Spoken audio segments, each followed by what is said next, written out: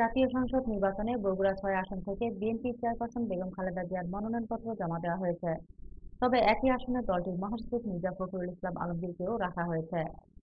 Returning কর্মকর্তা ও জেলা প্রশাসক ফয়েজ আহমেদের কাছে বুধবার দুপুর সোয়া একটার দিকে খালেদা জিয়ার পক্ষে জেলা বিএনপির সভাপতি সাইফুল ইসলাম মনোনয়নপত্র জমা দিয়েছেন।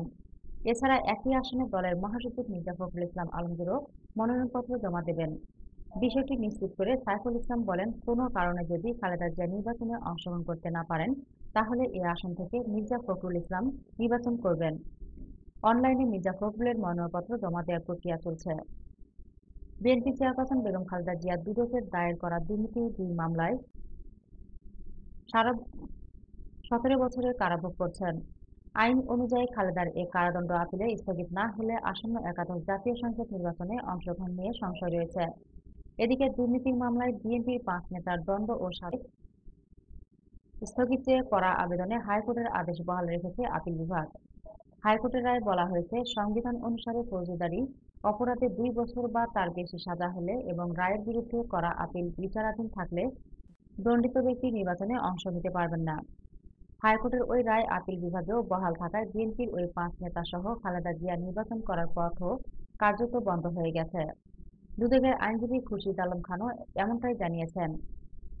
এদিকে নির্বাচন কমিশনের পুনঃতফসিল অনুযায়ী আগামী তিরিশে ডিসেম্বর ভোট গ্রহণ অনুষ্ঠিত হবে। এছাড়া আজ আঠাশে নভেম্বর বুধবার মনোনয়নপত্র দাখিলের শেষ দিন। প্রার্থীদের মনোনয়নপত্র বাছাই ও ডিসেম্বর এবং প্রার্থিতা প্রত্যাহারের শেষ দিন নয় ডিসেম্বর। এটাই মূল কথা। আর তার শূন্য আসনগুলোতে আমাকে গতকাল পার্টি থেকে বলা হয়েছে, বগুড়ার ছয় সদর।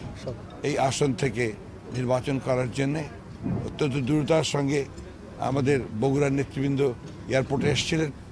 তাদের সঙ্গে আমি আমার ফর্ম ফিল আপ করেছি তাদেরকে দিয়েছি।